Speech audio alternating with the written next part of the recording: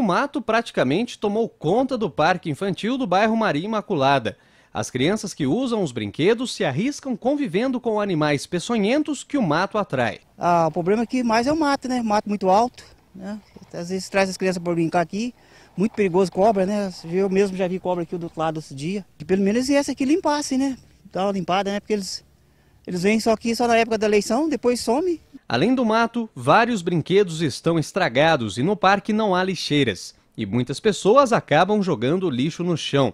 Para entreter o neto, seu Albino acaba usando os balanços desalinhados e enferrujados. Clair não se conforma em ver tanto descaso. Eles colocaram o parquinho aqui, no instantinho destruir tudo. Porque os grandes vêm, vêm balançar à noite, né? Aí acabam tudo, tiraram o balanço, tinha mais balanço ali, ó. Tinha o de carro, arrancaram tudo. Tá só isso aí pra você ver que tá destruído. Ninguém toma conta, né? O mato tá aí, né? Eles não põem ninguém para poder capinar e vai aumentar cada vez mais. E esse mato é um perigo, né? Cobre, essas coisas para as crianças.